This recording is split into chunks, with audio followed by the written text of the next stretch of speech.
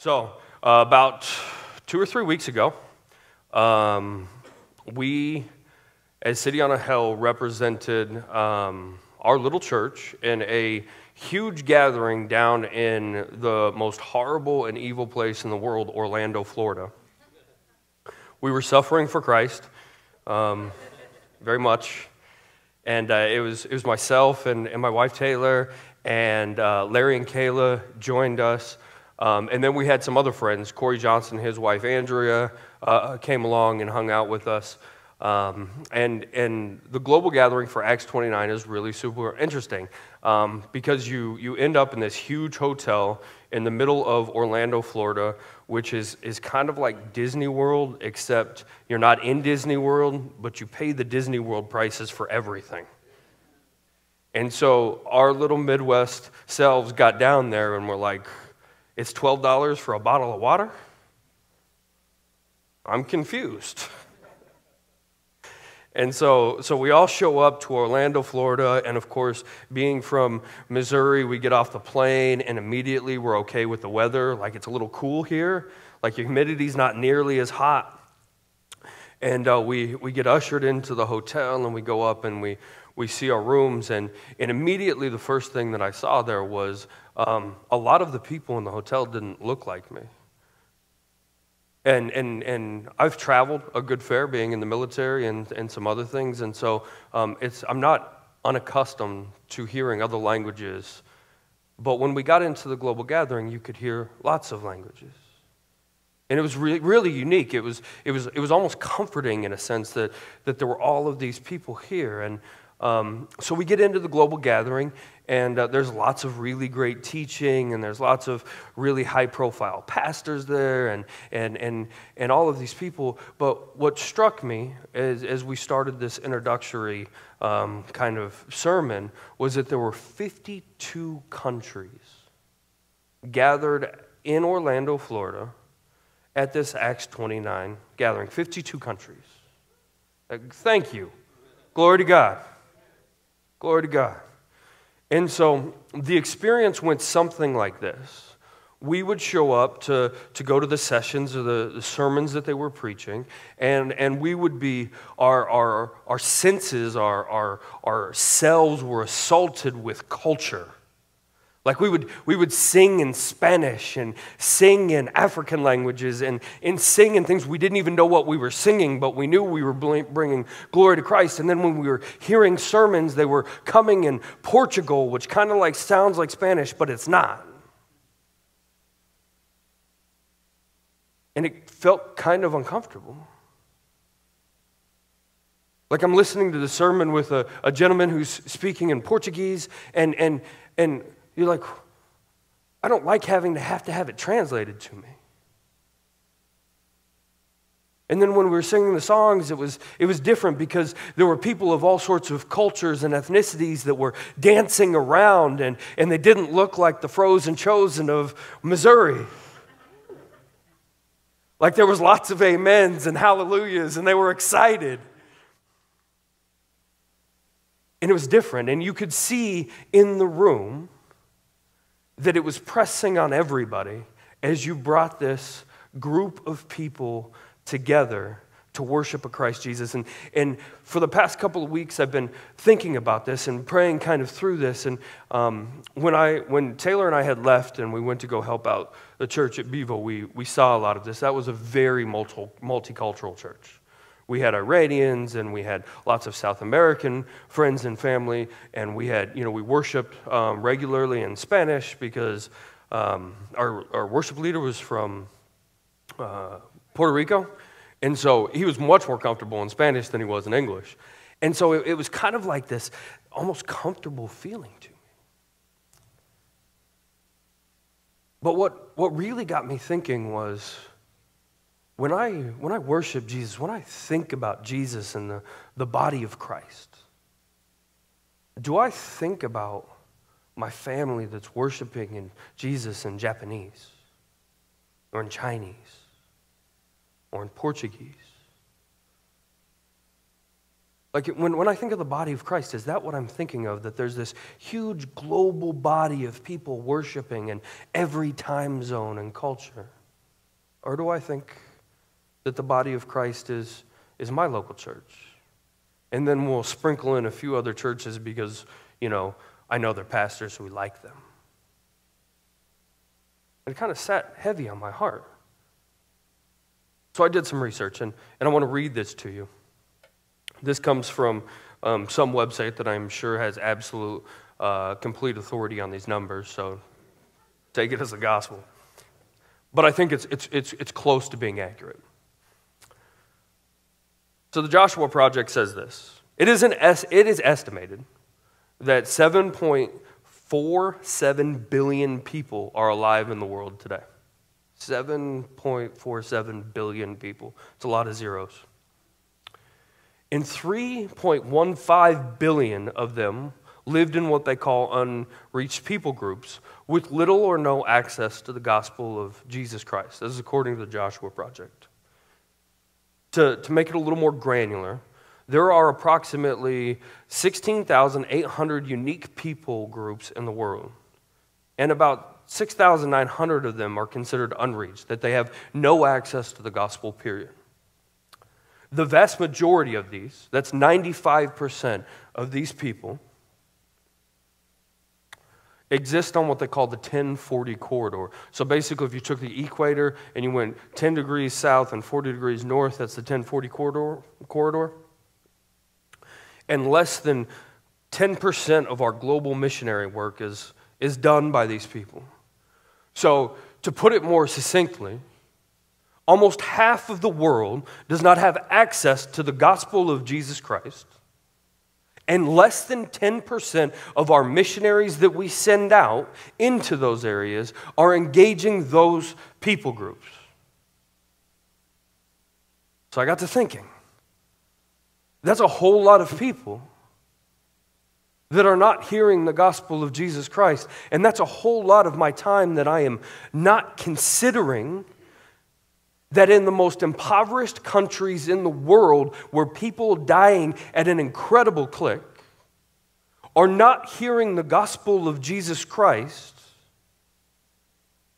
the gospel that saves souls, the gospel that brings dead men to life, the gospel that decrees eternity the gospel of joy and love and peace and happiness and love.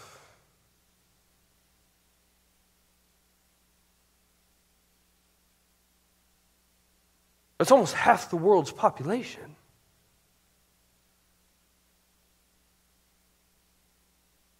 This is astonishing. This is something that we, we, we should sit back and in our, our prayer lives that, that we should look and we should go, if we believe that the gospel is the salvation of humankind, that, that we need to preach the gospel and half of the world is not hearing the gospel, it should be, a, it should be conflicting in our souls. It should be tearing us up that we don't have people engaged there.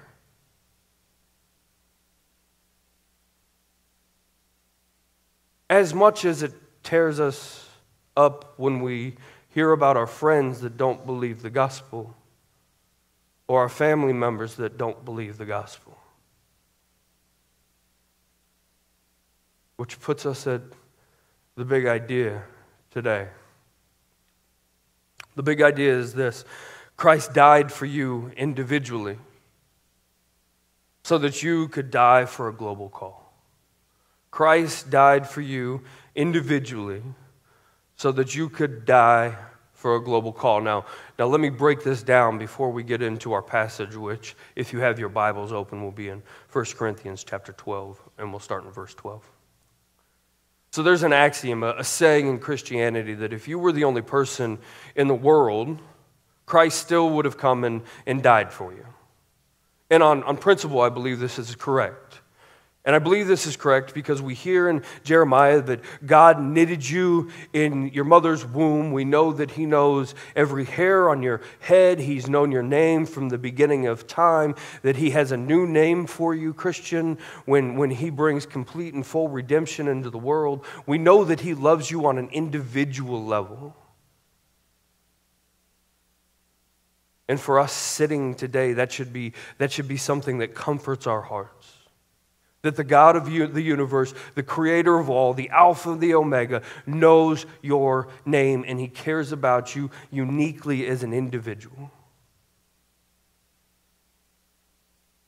But when, when Christ Jesus came onto this earth to live the life that you couldn't live, and subsequently died the death that you deserved, and was resurrected into life, bringing you new life, he didn't do that so that you could live on this earth in the midst of all of the things going around and ignore the rest of the world.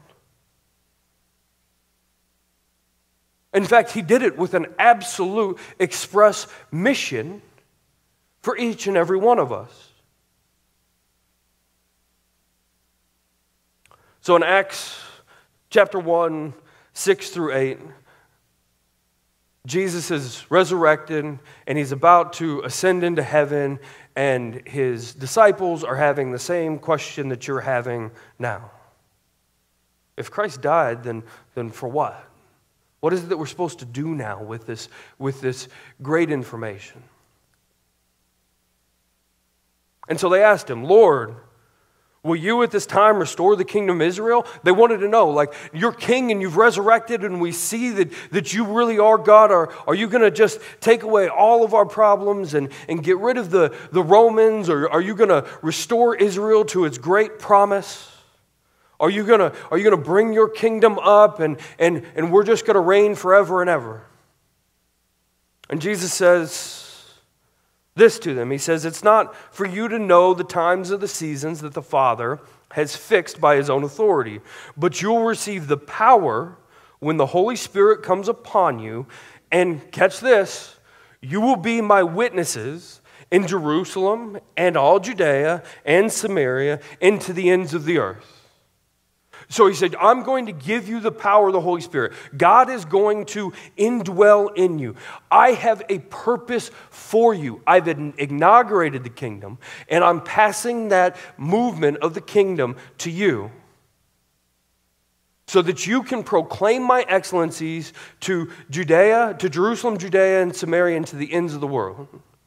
So I want to take a second and just take a step back and think about that because in our context, through our Western lens, we often think this, and it, it's true when we, when we take it and individualize it and put it into our context. What, what Christ is saying is that we, we need to be missionaries to our homes, to our families, to Jefferson County. And then we get a little bit further out, Samaria, maybe, maybe uh, uh, St. Louis, maybe Missouri, and then we continue to go on to the ends of the world. But as he's saying this to the disciples, what he's not what he's saying is, is you need to start here in Jerusalem and expand this out to the rest of the world. We are the rest of the world that he was talking about. We are. So, from, the, from a thousand years ago, there have been men and women with the gumption and the moxie to proclaim the gospel in all of the areas so that I can preach the gospel today in this church, in Arnold, in Jefferson County. It didn't just happen because there was a group of people that huddled themselves together in Jerusalem and said, We're going to keep this glorious gospel to ourselves. They said, No. We're going to proclaim the excellencies of Christ Jesus, the risen Savior, to the ends of the world, and it's why we're here now. And if you have any idea of the history of the world, you have a you'll recognize that they were proclaiming the gospel through a whole lot of really horrific times. I mean, Napoleon's in there. Dude was not a nice dude. We have the Byzantine Empire. We have the Black Plague. We have the Enlightenment, in which everybody tried to shove the gospel into its own little world. We have world wars that were, were, were gone through there. I mean, the history of the, of the world sits in this, this time span, and yet there were men and women who believed that the gospel of Jesus Christ was the paramount and the only thing that saves the soul. And so they pressed and they prayed and they moved in unison as one body. But I get it. We're in a different age. We've got a, a, big city and, and, and we have lots of commerce that kind of goes through our areas, and, and it's a different time. We've got Facebook and Twitter and Instagram and whatever else that we have. I was going to say Tinder, but that's probably not appropriate in this context. it's different, right? And we have this assault on, on Christianity where, where everybody can say everything that they want about Christians, and, and, and we've gone through book burnings, and maybe we'll go back and do that again. Like, there's a lot of things that are going on in the world. But Paul is writing to a, a Corinthian church, which was also a large commerce. It had lots of things going on. They had lots of, of, of crazy um, inappropriate sin that was going on in the church. And so Paul's letter to the Corinthians is really addressing that they have, they have gone on and they've, they've assumed a lot of what the world says into their church. And he's correcting that in this, in this letter. And so in chapter 12, just to, to give you a, a little premise, Paul is talking about the spiritual gifts, and the, the Corinthian church has gone wild with their spiritual gifts, and they're using them inappropriately. And, and Paul has essentially said, Look, I want you to continue to seek after the spiritual gifts. And then he gets into the section in verse 12, and he's talking about the body. And that's where I want to land today as we look at the scripture. Paul says this, verse 12. He says, just as the body is one and has many members, and all of the members of the body, though many, are one body, so it is with Christ. So, in a very wordy section, he's essentially saying, Look, we all have a body. We have lots of, of phalanges and hair follicles and noses and mouths. We all have these parts in our body, and there's, there's many of these parts of the body. And he says, just like the church as one body has many members of the body many members of the body. And he's uniquely addressing the fact that each and every one of us have unique and spe- special spiritual gifts which make up the totality of the body of Christ. There are some that preach, there are some that teach, there are some that are incredibly generous, there are some that, that are incredibly empathetic. There are some people that make us laugh, and there are some people that we'd rather not be around. But the reality is, is we are all one body we are one body in Christ. So I got to thinking, what does it mean to be in Christ? It's a term that we throw around Christianity all of the time. We're in Christ. What does that mean?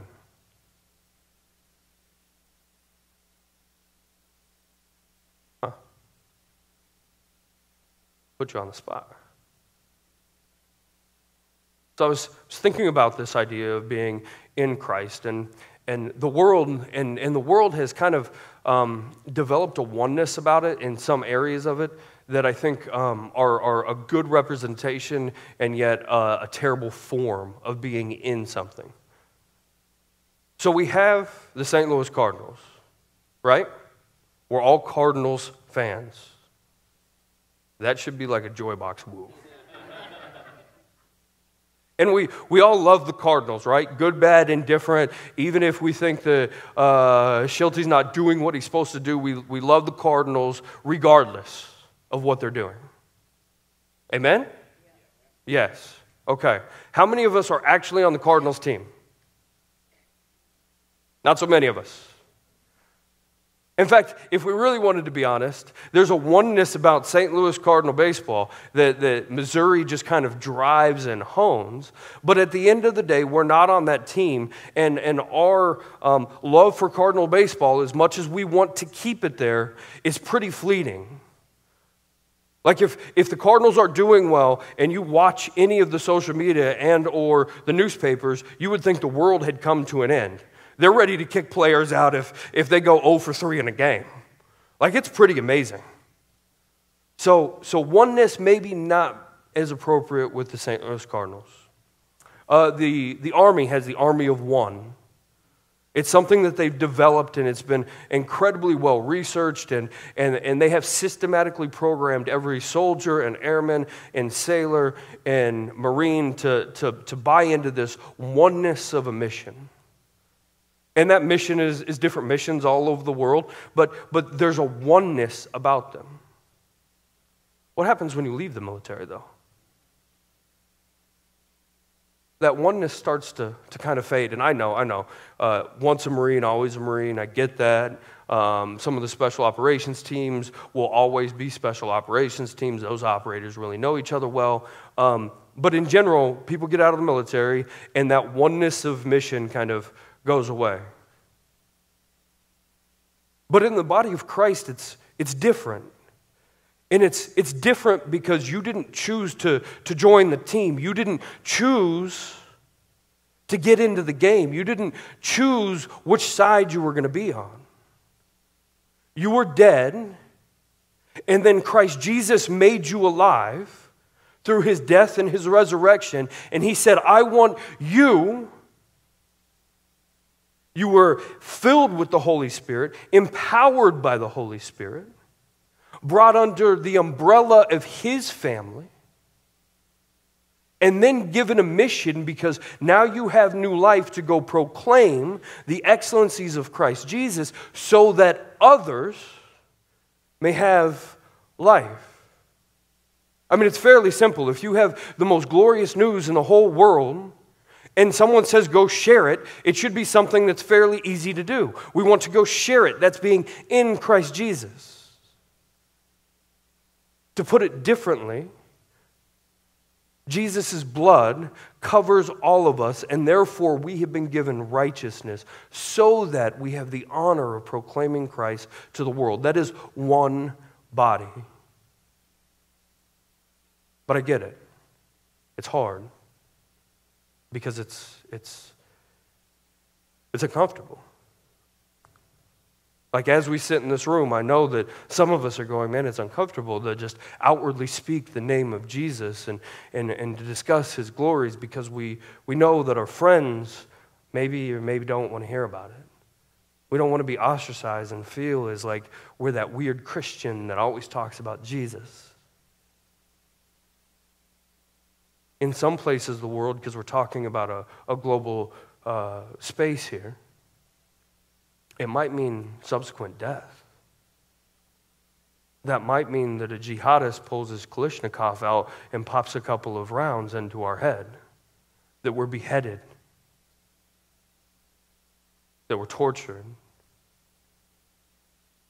put on display on a YouTube video. But it's difficult. It's difficult to proclaim the glories of Christ. And, and so Paul addresses it in verse 13. He says, For in one spirit, in one spirit, we were all baptized into one body. Jews or Greeks, slaves or free, and we were all made to drink of one spirit. I think the biggest problem that the church has today is we've forgotten to drink from the spirit. That Christ empowered us, that the Spirit dwells in us, yet we don't want to look to the Spirit for empowerment of the preaching of the gospel. That we don't want to ask the Spirit for the words in which can be conveyed the gospel to, to hearts that are being changed. We want to live in, in the culture in which we are God's and we're going to go out and we're going to do our mission. That we can't step back for even just 10 minutes and ask the Spirit, Where do you want me to go? And it's why we're frustrated. It's why we're hurt. It's why we have a hard time reconciling relationships. It's why a good majority of Christianity has fallen into a, a Sunday worship session and a do whatever you want from Saturday to Monday. It's because we don't engage in the Spirit, we don't drink of the Spirit. It's also, interestingly enough, why when I read that 7.14 billion people aren't hearing the name of Christ Jesus, that we recoil a little bit. As if we listen to the Spirit, maybe He would call us to, to move on that number. Maybe He would call us up like Jeff Neville and say, I want you to take all nine of your children and move to India for a year while you can train up the pastors there. Maybe He would call us out of our comfort zones and we would preach to the gospel that, that God would use to, to go proclaim it into northern Africa. It's uncomfortable. But it's uncomfortable because we're fighting the spirit inside of us saying, saying we want to do our thing. Don't, don't challenge my worldview. Don't challenge my schedule. Don't challenge my calendar. Don't challenge my five year plan. Because I don't want to hear what your plan is. And so we don't drink from the Spirit. We're clouded by the things of this world, we're clouded by our days, the busyness, the things we have to get done that provide zero, zero benefit to the proclamation of the gospel in unreached people groups to 3.4 billion people and to our neighbors as we're called to Jerusalem, to Judea, and Samaria, and to the ends of the world. But I get it. There's a lot of us who are going, I'm not really a missionary. I'm not, I'm not, I'm not really geared that way. It's not my, my calling. Maybe, maybe you're, you're uh, a little bit introverted. Maybe that's not where you want to be. So Paul addresses that in verse 14. He says, The body does not consist of one member, but many. We have many members with many talents, many gifts. If the foot should say, Because I'm not a hand, I do not belong to the body, that would make it any less part of a body. And if the ear should say, because, or the ear should say, because I am not an eye, I do not belong to the body, that would make it any less part of the body. If the whole body were an eye, where would be the sense of hearing? If the whole body were to be an ear, where would be the sense of smell? But it is God who arranged the members of the body, each one of them as he chose. So let's break that down. Paul is making this beautiful imagery of the body. And if, if the ear were to say to the foot, like, I can't be part of the body, it's going to be a little awkward. We can't hear. If, the hand, if everybody were hands, not going to work. If we're all one eye, then it's going to be like the Lord of the Rings and that creepy eye that sits up on the tower. I've never seen the movie, so I'm taking a guess here. I only read the books. Like it's going to be, it's to be a little bit interesting. It's not going to be a full, complete, unified body. And so Paul is addressing the spiritual gifts that each and every one of us have on us, that have us. Some of are evangelists, some of us are teachers, some of us are preachers, some of us have amazing amount of generosity, some of us care for people. We all have unique individual gifts that God is using in arranging us around. That's, that's his, his main call in this section. But on further thought, there's a, a second calling, there's a second premise to this. And, and I'm going to make the argument coming off of that last passage that we reread. He said, We were all baptized in one body. Jews or Greeks, slaves or free, and we were all made to, to drink of one spirit. So I think the secondary point to this is that we have a lot of Christians, a lot of brothers and sisters in Christ who don't look like us. They were the Jews, the Greeks, the slaves, the free. That's pretty encompassing of all of the people around who are worshiping right now or worshiping in a different time zone right now when the clock catches up to them. That are worshiping in, in different ways and, and, and, and, and worshiping the, the same Jesus. They're, they're proclaiming the gospel in, in song and dance. They're doing all sorts of really unique and cool expressions of worship. And so I want to challenge the body here right now. that when we start to engage and encounter other forms of worship, oftentimes in our context, it's, it's used as like the black church and the white church, which I, I really dislike that, uh, but we use it because it's terminology that we use. When, when we see that, we have to understand the expression of the gospel. As long as the gospel is a core central element, the expression of the gospel is very open handed and very accepting and very beautiful. Because what the church needs less of is denominational roll calls in which we build up walls and we, we try to stop things from happening and we want to be tight in our own little network of groups. And we want to keep out anybody who, who makes us feel uncomfortable with our worship because it's uncomfortable. In the body, the one body, the, the, the body of Christ from Ecuador to Nicaragua to the United States to Canada, even Canada, all the way to Israel is in, is in one body worshiping one Jesus with one true gospel. Because this, this idea of denominational bantering and, and not reaching across the lines, and, and it's garbage.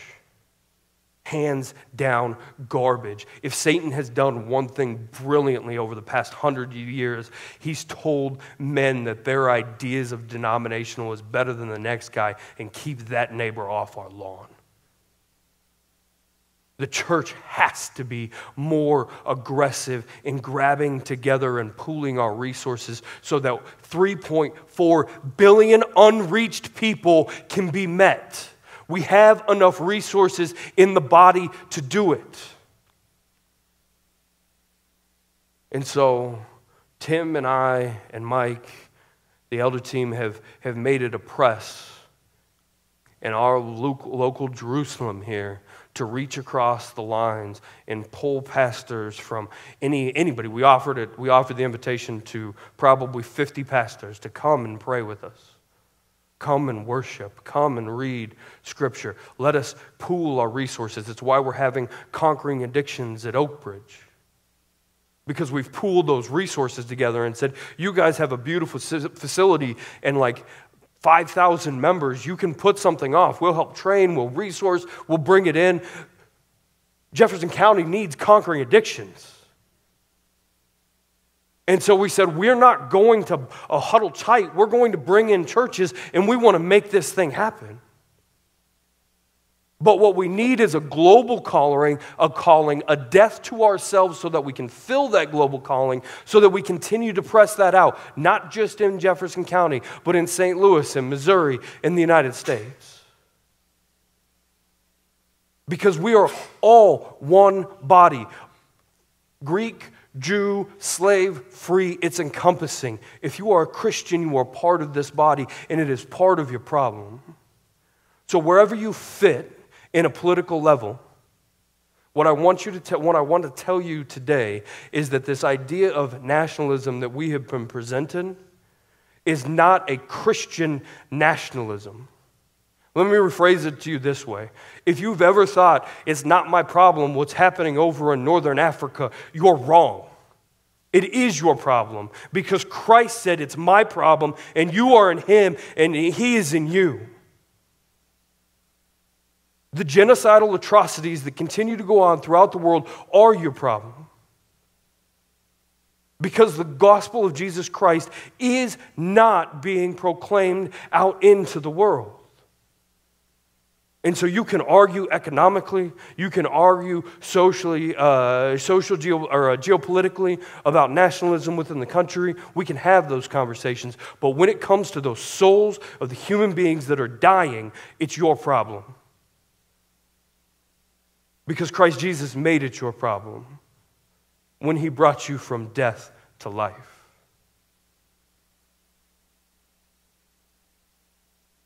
And if all of this is a little heavy, I get it.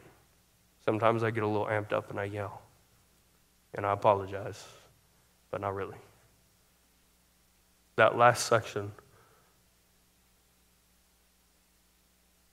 where Paul says, But as it is, God arranged the members in the body, each one of them as he chose.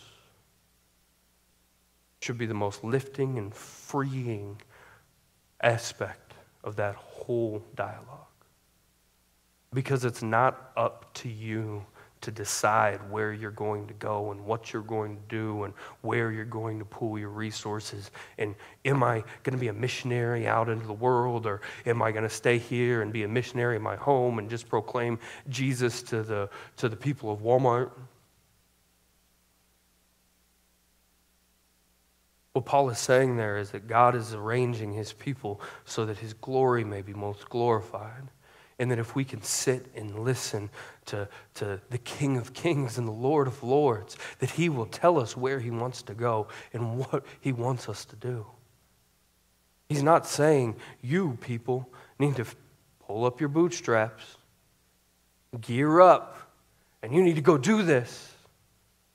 What he's saying is, is I'm going to move my people in the giftings that I have given them so that they can continue to provide the gospel, to bring the gospel, the glory of Christ Jesus into each and every part.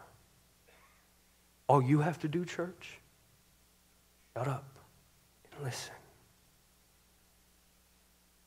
Just listen. Because God has promised over and over and over again that He will tell you and He will guide you and He will be with you. In fact, Matthew 18 or Matthew 28, when, when Jesus gives us this commission, He says, And behold, I will be with you forever and always. Behold, I will be with you forever and always. So the King of Kings is promising that he will be with you forever and always, regardless of where you go. And so if he calls you into Somalia, in which you start proclaiming the gospel, you will be killed by a Somalian raider. He said, I'll be with you. Be like Daniel in the lion's den. Go. You're not going to get burned up by the fire.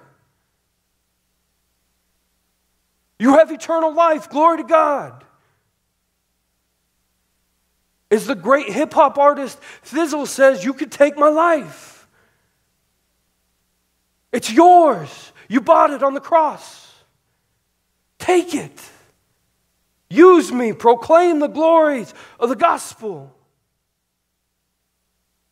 Do it. Go, church. Be the church. I'm with you. But we have to stop being such timid Christians. So worried about how are we going to get the next task on our list done? Oh no, our kid's going to wake up at the appropriate time for their nap time. And I get it. It's, it's serious. We got a three year old. I want him to wake up and go to bed when he needs to. Like, I get that. But we worry about such inconsequential things in our lives, and it causes so much anxiety. As if Christ Jesus didn't promise to be with you and he empowered you with the Holy Spirit. God Himself is indwelling with you. What are you worried about? The 3.14 billion of people that are not hearing the gospel. That's what we should be worried about. The broken that are right outside our doors, the homeless,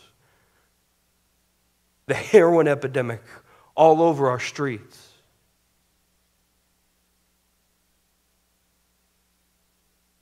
That's what we should be worried about. The proclamation of the gospel. But Paul leaves us with a, with a warning. Paul leaves us with a warning and an encouragement, I think, to each and every one of us. In verse 21, he says, he continues on. He says, The eye cannot say to the hand, I have no need for you, nor again the head to the feet, I have no need for you. On the contrary, the parts of the body that seem weaker are indisposable. And on those parts of the body that we think less honorable, we bestow the greater honor, and the unpresented parts are treated with greater modesty which are more presentable parts that do not require. But God has composed the body, giving greater honor to the part that lacked it. That there may be no division in the body, that the members may have some care for one another. If one member suffers, all suffer together. If one member is honored, all rejoice together. And so, what Paul says in this warning is, and this is, this is, is an incredible warning to the church as a whole, is that just as Jesus presented that the last shall be first and the first shall be last, and come to me as little children, that we as the church cannot and have to fight against the idea that the, the megachurch pastor or the one who is preaching or leading worship or has the most YouTube hits or is the most prominent member of our church, that they are the most important people in all of the church. Because Paul's warning here is that we can get so sucked up into that cultural equivalency that we start to, start to think that they're the ones that are out doing the ministry. It's the preachers and the teachers that do the ministry of Christ Jesus.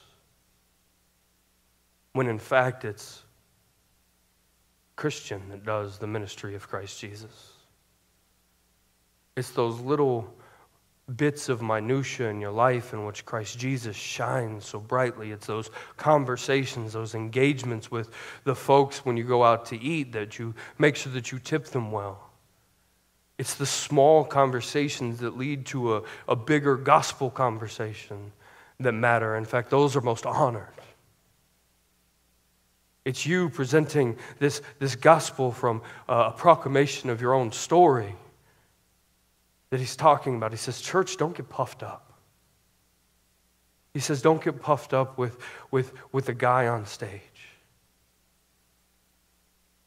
It's you and you and you and you and you that make up this glorious body, which is going to bring the redemption of the world through the power of the Spirit in Christ Jesus. You have been called as a kingdom of priests so that the inaugurated kingdom can go forth. You are the ones that bring forth this beautiful idea of the kingdom in which people can see just a, a fraction, a sliver of what life with God will look like when He redeems the world forever and ever, and there will be no more crying and no more pain and no, many, no more tears anymore.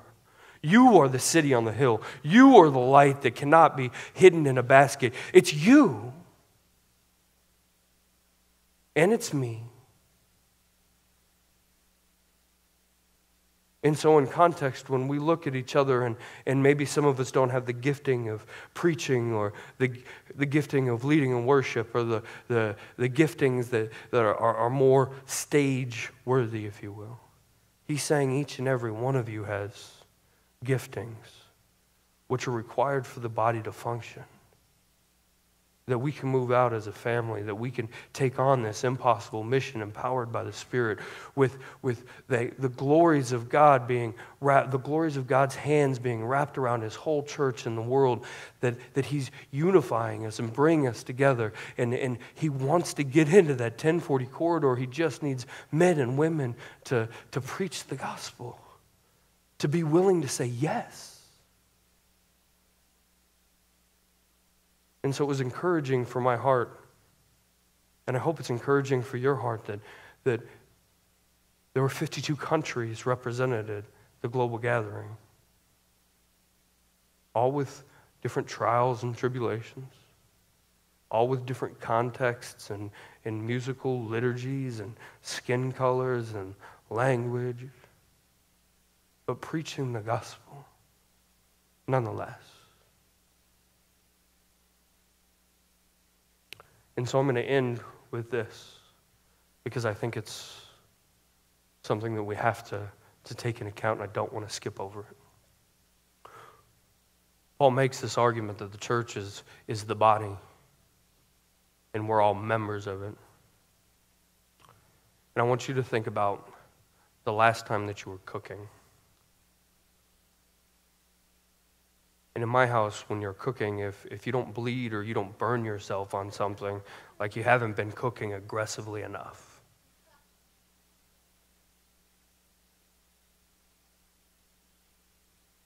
And so I want you to think back about that time where, you know, you, you, you took your finger and, and maybe you cut it with a knife because you were trying to get those ribs just perfect, or you know, you burnt yourself on the on on on something and it hurt, right? It hurt. And it didn't just hurt in that one localized area. Like, like it, it makes you feel bad. Like the whole thing starts to hurt. Your, your neurons start firing and you can fill it up your arm and, and all of those things. Paul, Paul says this is just like the church is, or it should be, with the body of Christ. He says, if one member suffers, all suffer together. If one member suffers, all suffer together. And so while we've, we've got everybody in tables, I want you to, to start thinking about some of the places that you know where people are suffering. Hong Kong would be a great one. Syria, the Middle East, China. We, pretty much anything from the corridor slightly up. And I want you to think about praying for those brothers and sisters who are suffering there. And maybe during that time, we can pray for the brothers and sisters that are suffering just outside our door and in St. Louis and in the United States. Because if this is true, and it is true because it was written by the Spirit through Paul's hands, then it should hurt us a little bit when we think about our brothers and sisters in, in Hong Kong, for example protesting for the right of religious freedom. It should hurt us to know that in most northern African countries, you're not allowed to proclaim the name of Christ. That in Saudi Arabia, Syria, Iran, Iraq, Pakistan, proclaiming the name of Jesus Christ can end you, end you up beheaded. And so while those martyrs and those men are, are faithfully serving Christ Jesus suffer, our call is that we suffer with them. At the very least in prayer. At the very least in prayer.